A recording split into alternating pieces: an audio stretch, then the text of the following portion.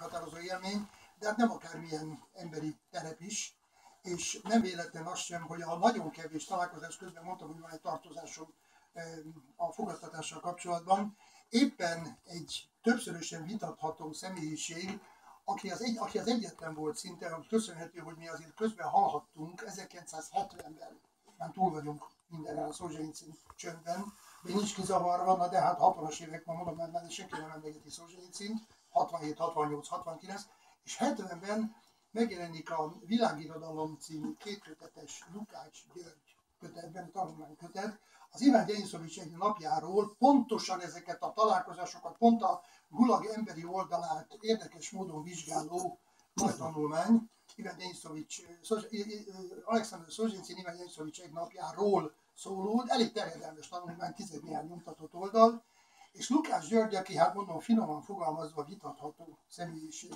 Manapság most én nem erre gondolok, most mindenki ezt a tizedelést mondja, a, a poroszlói tizedelést a tanszközség idején. Lukás György időnként olyan marhaságokat írt, már bocsánatot kérek, én sokkal fontosabbnak tartom, mint a történeti tetteit, hogy borzasztó jó ízlés ellen be volt oltva, szerintem. Elképesztő. Szóval most a két vonyolat példát mondok, az egyik az közismert, az ő vélekedése Madács ember tragédiája című korszakos művéről, Madács ember tragédiáját, hát enyhén szólva, nem lekezelőleg, de csak elképesztő baromságok tömkelegét írta róla össze. Ez, ez a legriasztóbb példa. Nem csak ez van, mert ezt, ezt azért valamennyire ismerik.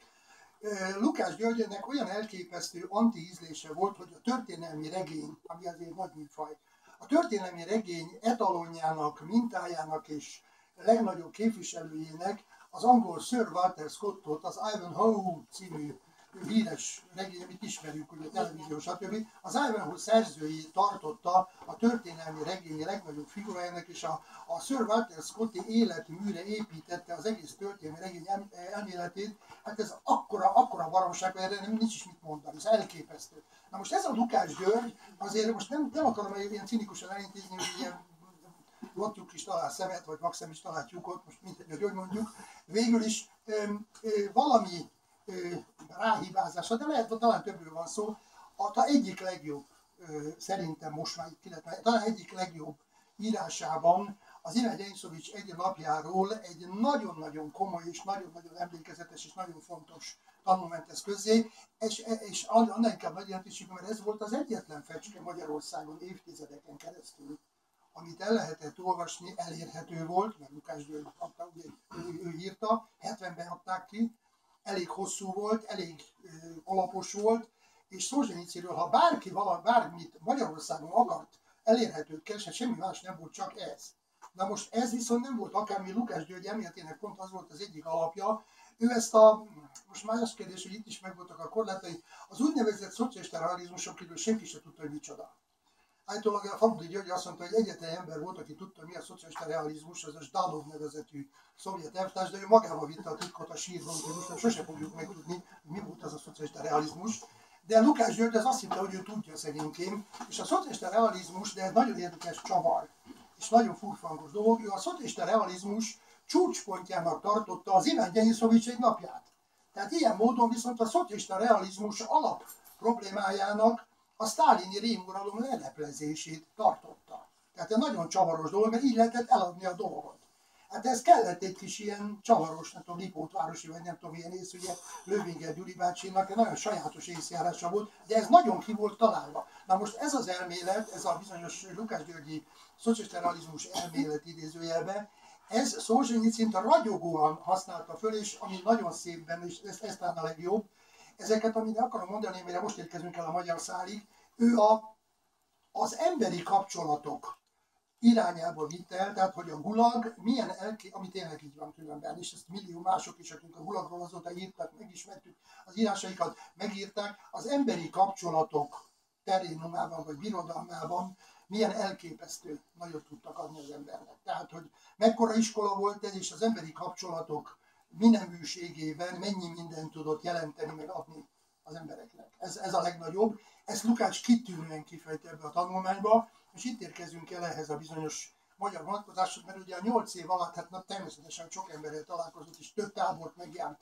Szolzsenyicin is. Három évet húzott le Kazaksztánban, egy Ekibasztuz nevezetű táborban, és ott találkozott egy fiatal emberrel, aki vékonyka, visszahúzódó fiatal srác, hozzá képest fiatal srác volt, 26 születésű, tehát akkor nem volt idős, akit 16 vagy 18 éves leventeként vittek el az oroszok, és miután szerencsétlen leventék, nekem volt fegyverük, azt később nem használták, nem is nem tudták, de fegyveres osztakként elkapták őket, és még szerencséjük volt, hogy nem lőtték meg, akit rögtön nagyon lőttek, de ezeket azonnal vitték a gulagra, és ez a fiatal ember többet magával 10 meg 12 éveket kaptak, ez a, ez a fiatal ember ez 10 évet kapott, tehát még többet, mint Szolzsenyicin, és összetalálkoznak a kazaksztáni Ekibosztusz táborában, ezt a fiatal embert Rózsás Jánosnak hívják, és Szolzsenyicinnek rögtön ez a leghíresebb magyar kapcsolata. Szolzsenyicinnek, hogy így mondjam, de Rózsás Jánosról tudni kell azt, hogy Rózsás János maga is megírta ezt, tehát ez, a,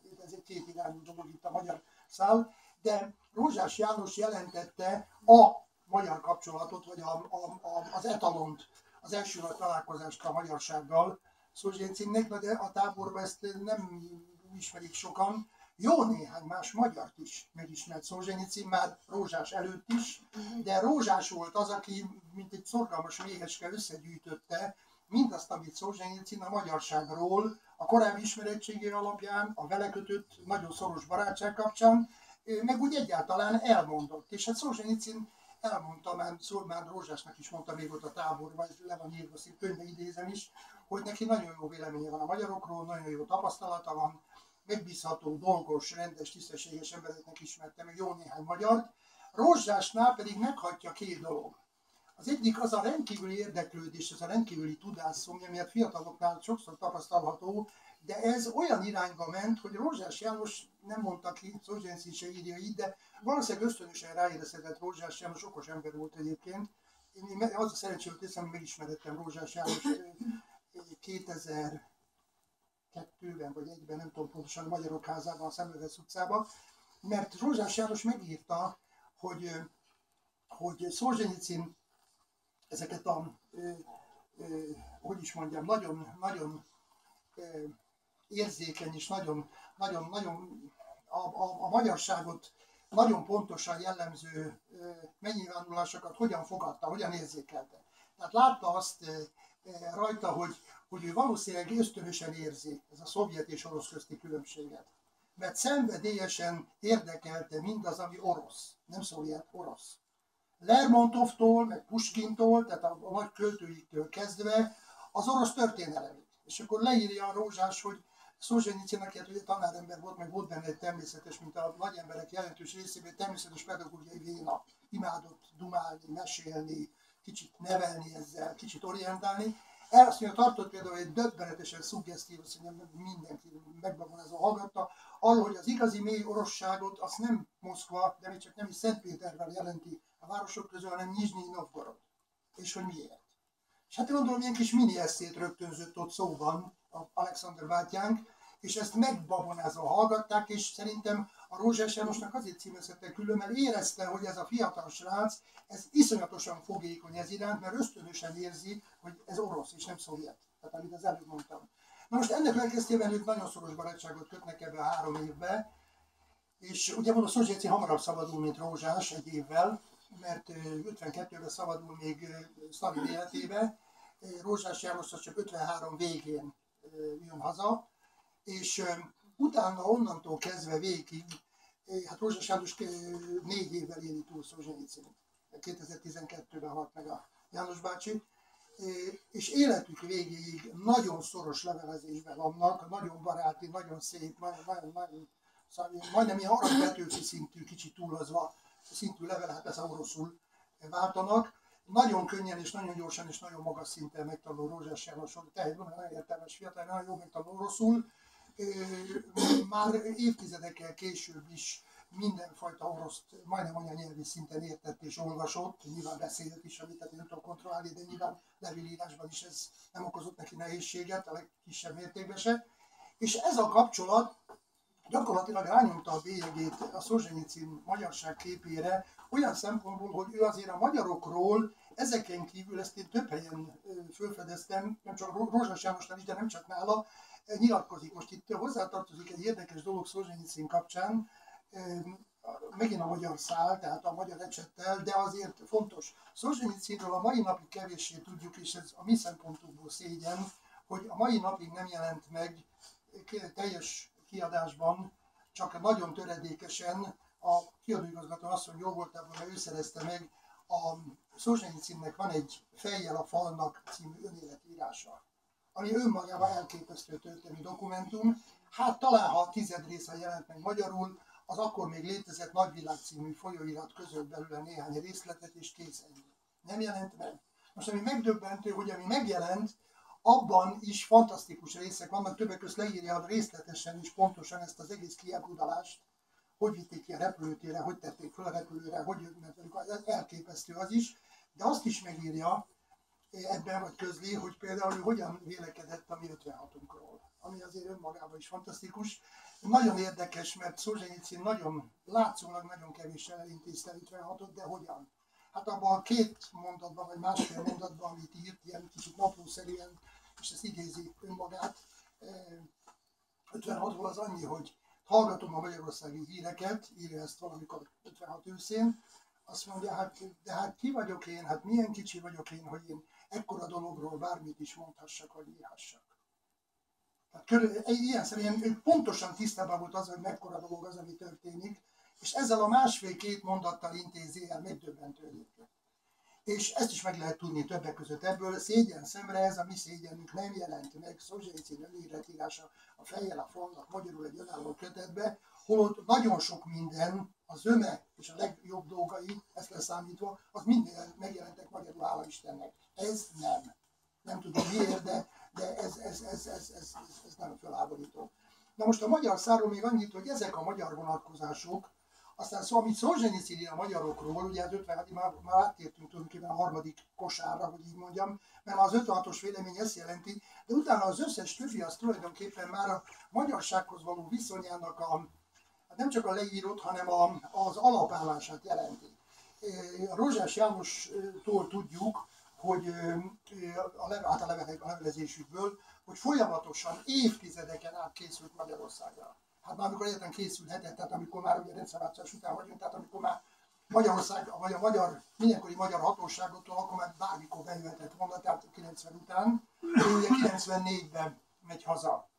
Ez is egy érdekes történet, és nagyon sokat mond Szolzsenyicéről, de mert mindjárt visszatérek, de Magyarországra soha életében nem jut el. 2008. augusztusában hal meg, és folyamatosan tervez Magyarországra jönni. Most más kérdés az, hogy az utolsó éve az már hát mint ebből magas korban, 90 évet élt, már úgy 81 néhány évesen, hát akkor már ugye rengeteg baja van a legtöbb embernek, aki ilyen magas kort megér.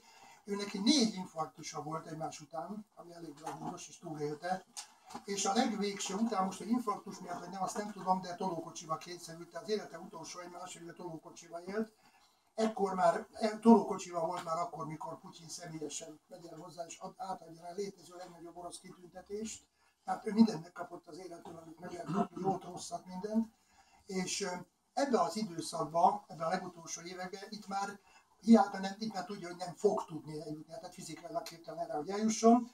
Folyamatosan leveleznek ekkor is Rózsás Jánossal, és kiderül, ezt nem csak Rózsás Jánostól tudjuk, hanem akinek révén megismertem, ott volt a könyv első bemutatóján, kiadóigazgató asszony is megismerte, egy Rajnai Miklós nevű nagykanizsai ember, aki Rózsás Jánosnak az egyik legjobb barátja, és én is ismerem, és én az ő révén ismertem meg Rózsás Jánost 2001 vagy 2002-ben ott a Szemövesz utcában, a Magyarok házában, és Rózsás János révén Rajnai Miklós a mai napig élő tanúként tanúsíthatja, hogy mi történik.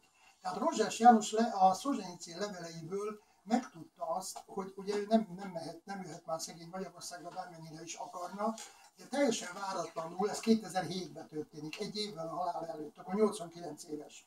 Elküldi, gyönyörű történet, mint a mesében. Álom három fia volt, a legidősebb fia, az benne van a könyvben. Hát jó. Jó, akkor hallgassuk meg, jobb, valószínűleg jobban leírva, mint ahogy én elmondom, akkor a Krisztán lesz olyan kedves és felolvassa ezt a történetet 2007-ben vagyunk. Igen. Ha személyesen nem is találkozott többé a számára nyilván koncentráltan a magyarságot tükröző jelentő János barátjával, 2007 végén valami egészen furcsa, szokatlan, misztikus, kicsit orosz irodalmi ízű, Dostoyevsky dolog történik. Magyarországon jár Szolzsenyicin legidősebb fia, Jermoláj Alexandrovics, persze, hogy találkozik, és hosszan beszél Rózsás Jánossal. Akkor tudtam meg, hogy már a negyedik szívinfarktusán van túl, és egyik karját nehezen tudja mozdítani. Ez volt az utolsó alkalom, hogy híradást kaptam róla, én is tudtam küldeni neki magamról némi információt a fia által. Alig háromnegyed év múltán, 2008. augusztus 3-án Alexandr Iszajevics Szolzsenyicin elindul a moszkvai Donszkoly, Donszkoly Kolostor sírkertje felé. Nem jutott el a szeretett és becsült magyarok földjére, hát utolsó üzenetként legidősebb fiát, a jövőt küldte el hozzánk. Mert pontosan tudta, nagyon-nagyon kevesed magával, vagy talán csak ő egyedül, hogy így kell tenni. Pányi Mája, Alexandr Iszajevics. Hát igen, ez egy megható szép, szép történet, azt hiszem, és ez a, ez a gesztus az azért volt páratlan. Szorosdénnek egyébként szintén, mint a mesében három fia volt. Ez persze véletlen, de három fia volt, mint a mesében, és a legidősebbet elküldte, és hát ezt egyébként nagyon nagy mértékben ezt Rajnai Miklóstól tudom, ezt nagyon nagyra értékelte, ha úgy tetszik, nem csak, hogy értette, vagy értjük, ezt Rózsás János is nagyon értette, hát ismerte a barátját. Azt igazából senki se tudja, szerintem még Rajnai Miklós sem, hogy ők mennyi mindent írtak egymásnak. Hát ugye ennyi évtized folyamán folyamatos levélváltással. És, és ugye ne felejtjük el, hogy Szozsénci, hogy 20 évet tölt emigrációba, hát akkor ugye annak semmi akadálya nincs, hogy ő orosz nyelvű leveleket küldjön amerikai címről Magyarországra Rózsás Jánosnak. Legtöbbször azt sem nagyon tudhatták, hogy Szolzsenyicin küldte mondjuk a 80-as évek vagy 70-es évek végén, mert kapott egy angol borítékot, amiben vaskos orosz nyelvű levelek voltak, hát mondom, nem tudjuk pontosan, hogy mi mindenről írhattak, de ez egy nagyon komoly, hát ez egy külön nagy feladat lesz majd valamikor ezt a levelezést kiadni. Mert a Szozsenyicin által írott levelek, természetesen Szrajnai Miklós többször elmondta, ezek igen nagy becsben gondosan őrizve vannak, ezek óriási történelmi dokumentumok. Csak remélni lehet, hogy a fiai révén a Rózsás János leveleit ugyanígy őrzik Oroszországban, nagyon remélem, vagy reméljük, nem tudom, ezt én nem is kérdeztem a, a Miklóstól, de föltehetően, hogy bízunk benne, hogy a nevezés. Tehát van egy Szolzsenyicin alapítvány, és ezt a felesége, a Natália asszony gondozza, hát ott minden van a világon, nem, nehezen tudom elkezdeni, hogy pont ilyen leveleket ne őrizzenek, hiszen ezért mondom, ez egy híres nagy barátság volt kettőjük között, és most már a vége felé korlátozom, mert éppen az egy órám is lett, amit általában szoktam beszélni. A vége felé kormányozva a, a beszélgetést, oda jutunk el, hogy végül is ez a magyar szemszögű vizsgálat, vagy magyar e, ecsettel való Szolzsenyicin portréfestési kísérlet, mondjuk így, az tulajdonképpen mi mindent is mutathat meg nekünk Szolzsenyicinről. Hát tulajdonképpen azt, hát nem csak azt, hogy mit bírhat ki az ember, hanem azt is, hogy, hogy mennyi mindent tudhat el meg elérni az ember, tényleg mindent, mindent átélt, amit ember elérhetett, életveszélyt. Őt egyébként olyan, olyan, a rákosztály erről szól, olyan komoly rákbetegséget kapott, érdekes módon, mikor már a gulagról kijöttük a bizonyos számüzetésben volt, tehát 55-ben, ezt írja meg a rákosztályba. Utána egyébként ez is érdekes Isten újja, egy magyar származású orvos menti meg az életét, akiről furcsa módon nagyon keveset tudunk. Rózsás János se tudott meg róla sokat, mert erről nem nagyon írt neki Szolzsenyicin a nevét tudjuk, de érdekes, hogy a Gulag lexikonban, ami ilyen vaskos és Rózsás János állította össze, ebben sincs benne ez az orvos, mert nem nagyon lehetett róla megtudni semmit, tehát elég rejtélyes. A nevét tudjuk, és azt Szolzsenyicintől, hogy ő volt az az orvos, aki megmentette az életét. Nyilván nem egyedül, nyilván többen magával, nyilván ez ennél kicsit bonyolultabb, de ilyenen is keresztül ment, és csak arra fölmondom, tehát, tehát elképesztő dolgokban volt részem. Most nagyon érdekes és kevesebbet beszéltem két dologról még záradékképpen, ez a bizonyos emigrációs időszak, és amit a, mondom, hogy ami a, a, a helyretételéhez szükséges, hogy Szolzsenyicin nagyon-nagyon sokan, az, a szép irodalmi teljesítményekről már valamelyest beszéltünk, de nagyon-nagyon sokan elintézik ilyen proféta, profétáló, tényleg ugyanolyan látnok volt, nekem meggyőződésem, ugyanolyan, ugyanolyan jövőbelátó ember volt, mint a mi csurkánk. Körülbelül ugyanez a szintű ember volt, elképesztő képessége volt ebbe a, a csurka ezt mindig úgy mondta, hogy, hogy a jövőt egy kicsit érzi a, a szemem meg a fülem. Érzi a jövőt egy kicsit, valahogy így fogalmazott. Szolzsenyicin nem tudom, hogy ezt hogy mondta magáról, de hogy ugyanez a gyakorlat érvényesült, arról szentül meg vagyok győződve. Most a következő bizonyítja ezt, ugye Szolzsenyicin, mondom, majdnem kereken két évtizedet tölt, tulajdonképpen két évtizedet tölt nyugaton, ebből majdnem két évtizedet az Egyesült Államokban, ugye a nyugat-nyugatján, és 94-ben tér haza. Most azért csak 94-ben, mert ugye még 93-ban is van egy pucs, 93 őszén, ha visszaemlékszünk, nem csak 91-ben. Tehát akkor még mindig lehetett bármi, és ráadásul ő nagyon féltette Oroszországot, és nagyon dühös volt Gorbacsovra is, Jelcine még jobban. Hát tulajdonképpen a pia miatt volt dühös Jelcine, de nem azért, mert így volt önmagában, hanem ezzel párhuzamosan, de ez Gorbacsovra is érvényes, meg olyan mérték, ez sajnos igaz, olyan mértékig meggyöngítették és lezüllesztették Oroszországot, hogy Szolzsenyicin egyfolytában azt követelte, amit egyébként az Úristen szintén megadott neki, hogy egy Putyin szintű vezető, meg egy Putyin színvonalú szellem, meg egy putyini szellemű Oroszország legyen, és volt egy kulcsszava, amit egyébként már egyfolytában ír az emigrációs profétálásai közepette, hogy ahogy gúnyolták, hogy Oroszországot azt fogja megmenteni, és egyetlen dolgot tehet, hogyha önmérsékletet tud tanúsítani. Ha az önmérséklet a politikájának és a napi gyakorlatának az, az elemi része lesz, tehát egy alapföltétel.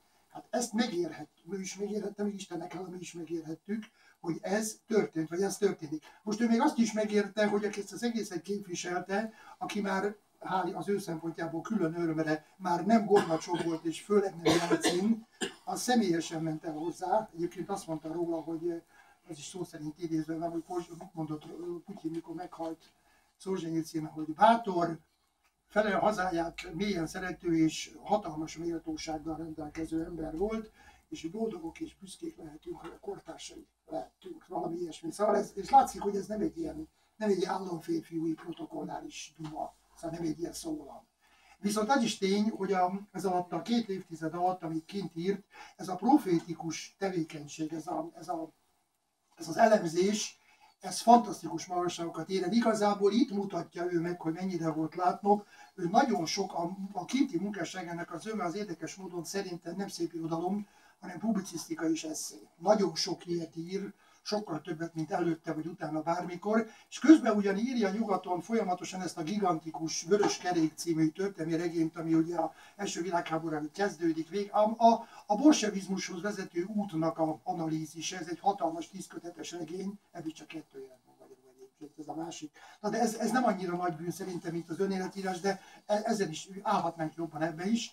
De Emellett egyébként szinte csak publicisztikát és eszéket ír, plusz megírja, viszont magyarul megjelent az Együtt című a orosz-zsidó viszonyt megíró. Az első kötet az a cárizmus idején, a második a szovjet időben levő zsidókról viszont, ami fantasztikus könyv. Surka Istvánnak ez annyira tetszett, olyan hatás akarolt rá, hogy egy külön kötetbe reflektált rá. Ez is a Szolzsicin történet, ez tartozik, ezt is megírtam a könyvbe.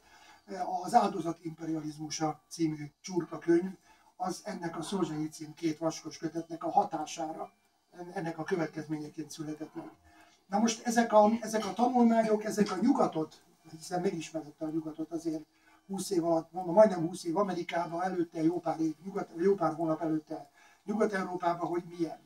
És a jóslatai pedig akkor még a migrációnak hírehanga nincs, és főleg nem a közbeszéd szintjén, pontosan megjósolta, pontosan, pontosan fölvázolta a nyugat végzetét, az elhűlést, nem csak a fogyasztási őrületet, de a, a, az elhűlést, a, az üllést, ezt, a, ezt az egész romlás vagyok a hanyatlás végi Róma hangulatot, és ezt olyan meggyőzően és olyan, olyan hihetetlen okossággal, hogy például elment ilyen híres elit kollégiumokba, meghívták az Eton College-ba, akkor elment Cambridge-be, Oxfordba, csak Angliát mondom, de, de azt hiszem elment a Harvardra is például Amerikába, és hát ott tényleg az értelmiség elitjével találkozik, megdöbbentő egy-két szó szerint olvasható ezek a, ezekben az írásokban, ilyen jegyzőkönyvszerűen, hát hogy milyen, milyen állatságokat tudtak kérdezni tőlük, ezek a nagy, ez megdöbbentő, pedig hát ez a nyugati csúcs értelmiség volt jelentős részben, és amit ezekre kifejt, hát azt én tulajdonképpen majdnem azt hogy kötelező olvasmányát tenném,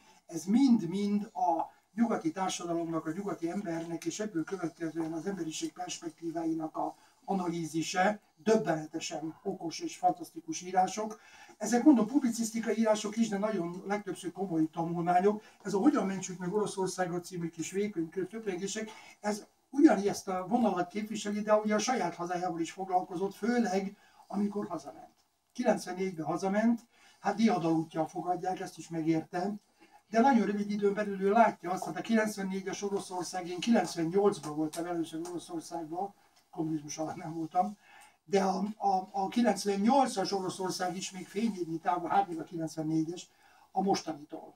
Tehát ő azt látta, amikor hazament, és ezért írta ezt meg már otthon, hogy hogyan mentsük meg Oroszországot, tehát látta a ottani állapotokat, elég, elég borzalmas dolgok. Ez, ez is egy kitűnő, lehet, hogy több ponton vitatható, ezek már ilyen társadalomelméleti kérdések, hogy hogyan ő megpróbált egyfajta ugye receptgyűjteményt a maga bölcsessége és a maga tapasztalata szerint összegyűjteni, hogy Oroszország hogyan, merre, milyen irányba változzon. Aztán vége felé elismerte, hogy ez Putyin révén nagyjából mégis történt, vagy történőben van, ugye 2000-es évek második felében már, és ez az elméleti munkássága, ez aztán szinte döntően meghatározta a későbbi tevékenységet, és itt, itt fogok most elérni a, talán a végkövetkeztetésig, ami majd úgy is gondolom lesznek kérdések, de a saját mondókámat illetően, hogy végül is Szolzsenyicin azért volt szerintem talán a legjobban nagy, megmutatom ezt a kis részt, hogy nagyjából mindent tudott, és nagyjából mindent megélt, és körülbelül, hát amit, amit hogy mondjam,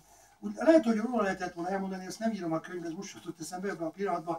Én ezt más valakire mondtam, ez nem tartozik látszólag ide, én 1988-ban megismerhettem Domokos Pál Pétert, a Csángó kutató, talán hallottak róla, és én rám nagyon kevés, pedig nem, nem voltam vele túlságosan hosszú ideig, és nem is beszélgettünk valami mélyen, de érem ember nagyon keveset volt olyan hatással, és utána írtam róla az első benyomások alapján, és nem tudtam más címet adni, erre nagyon emlékszem, hogy Ecceholó, ime az ember. Ez egy ember, ez egy ember. Na most Szolzsenyiciről most ugyanez jutott eszembe, pedig ezt most nem is gondolkoztam idáig, hogy körülbelül ezt jelentette, hogy jelképezte az egész élettel, hogy mindent átélhetett, és például a következő, majd a végén megmondom, hogy mikor írt ezeket a sorokat. De ez, talán ez volt ő a legjobban, azért is én, ezt, ezt én ragaszkodtam hozzá, hogy ezt a Szolzsenci részletet tegyük ki a könyv főszövegének, egyik főszövege ez. Idézet. A legveszélyesebb, hogy a nyugat elvesztette veszélyérzetét. Még azt sem veszi észre, honnan érkezik viharsebesen a fenyegetés, a bolygó más helyére képzelik, és arra felé szegezik csenevész tegezük nyílait. A legveszélyesebb, hogy a nyugatban már nincs is akarat, hogy megvédje önmagát. Fájdalommal szemléljük Európa katasztrofális meggyengülését. Szenvedésünk tapasztalatát kínálnánk, szeretnénk, ha elfogadnák. Ne kelljen olyan mérhetetlen árat fizetniük halállal és rabsággal, mint amire mi kényszerültünk. A nyugat társadalma azonban elveti a figyelmeztető szavakat. Megsemmisülten kell bizonyára tudomásul vennünk, hogy ez a tapasztalat eleve nem adható tovább. Mindenkinek mindent újra át kell élnie. Ezt 1966-ban megdöbbentő. Megdöbbentő. Szóval ez azt hiszem mindent elmond, és én azért fejezném ide, megköszönve a figyelmüket, hogy várjam a kérdéseiket, és annyit tegyék még hozzá, hogy a Szozsnicről még nagyon sokat lehetne beszélni, de utólag én nagyon örülök, hogy végül is beadtam, beadtam a delegamat, és megírtam ezt a könyvet, mert Szozsnicről egyrészt nagyon jó volt írni, másrészt én azt hiszem, hogy, hogy nem csak, hogy megérdemelte, de Magyarországon tudtam már ez az első könyv Szolzsenyiciről, és azt hiszem, hogy, hogy majdnem azt mondom, hogy ez a minimum, amivel mi magyarok, magyar ecsettel adózhatunk neki, mert többször sem bizonyított dolog, hogy erre büszkék lehetünk, hogy ő egy nagyon nagy barátunk is volt. Köszönöm szépen, hogy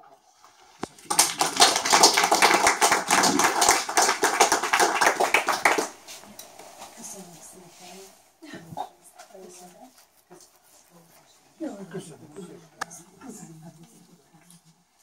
Vannak-e kérdések?